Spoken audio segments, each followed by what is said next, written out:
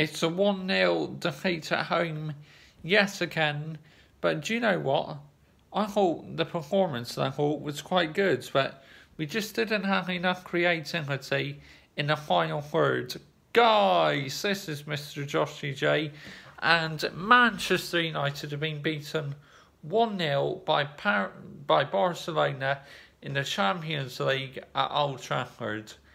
And in the first half, you know, Barcelona were keeping possession. Then, about 12 minutes into the game, Luis Suarez put the ball in the net, but apparently it's a Luke Shaw own goal. But I'm not 100% sure. But anyway, Suarez, a goal, people scoring at Old Trafford. For fuck's sake.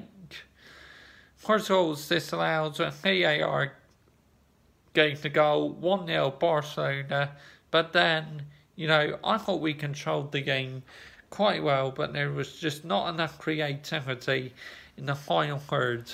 Now, I gotta say, Marcus Rashford did not have the best of games.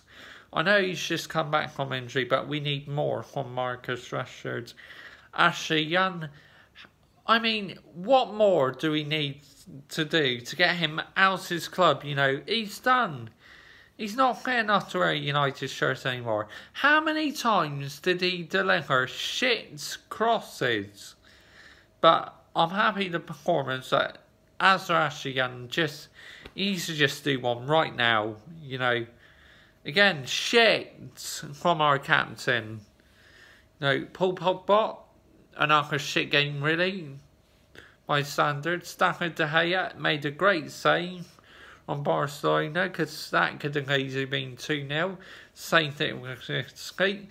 But overall, De Gea didn't have a lot to do tonight, so you know, it just shows at least we gave it a go. We lost 1 0, but we're not out this side yet, you know, guys. A lot could happen in the second leg. So, yeah, I'm proud of the performance, but we need to be a bit more creative in the final third.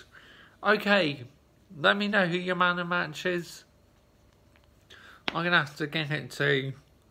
Who do I think plays well tonight?